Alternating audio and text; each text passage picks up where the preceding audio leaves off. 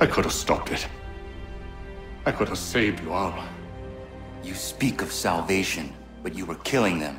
Aye, because they would not listen. And so, it seems, neither will you.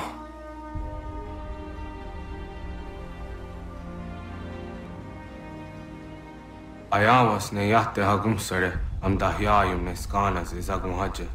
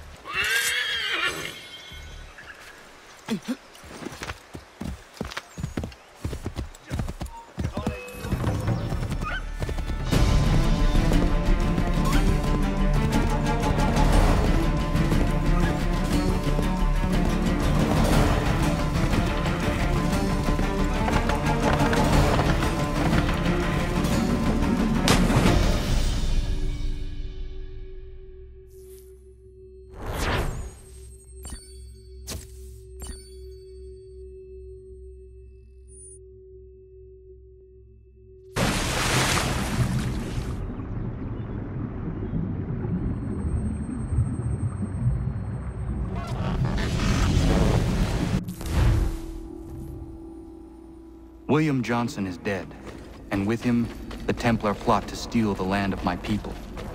But in ending this threat, I have revealed another. On his body was a letter addressed to John Pitcairn containing orders to root out and destroy Patriot weapons and supplies. Should he succeed in this, the colonists will be unable to maintain their resistance, and the Templars will surely take control. So long as Pitcairn lives, the danger remains. Need to find him. He needs to die.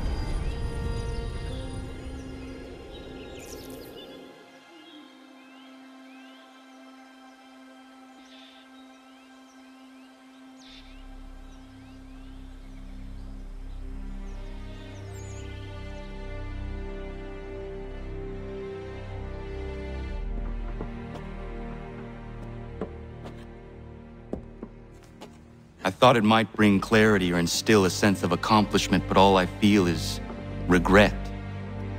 Hold fast to that. Such sacrifices must never come lightly. I had to do it. Not only for my people, but for all the others Johnson would have harmed. It's a start. But to truly be free of Templar influence, all of them must be dealt with in turn. Even your father. I know. You speak the words, but do you believe them? Seems we've company.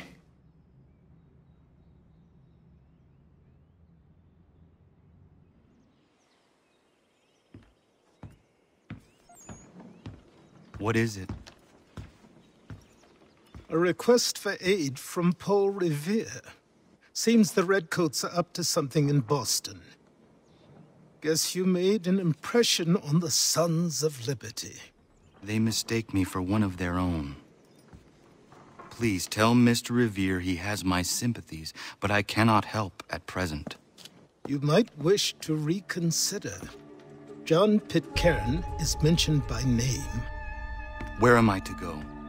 Mr. Revere's house in Boston. If you'd like, I can...